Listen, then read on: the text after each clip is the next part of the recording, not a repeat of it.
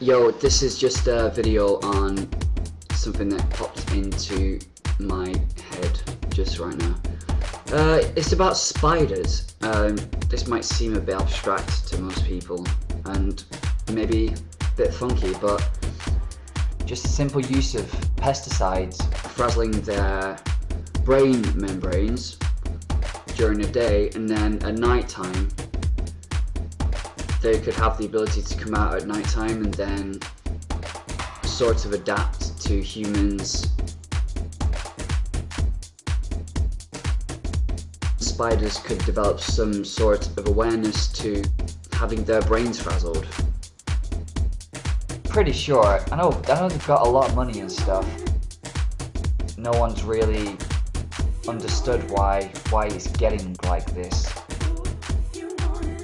hard to explain, I can't really explain it properly. Spiders could develop some sort of awareness, more of a vibrational density. You might be able to affect things a bit more. And most importantly, the innocent being would not be injured unconsciously. Because I do think it is all unconscious, but it's not particularly conscious.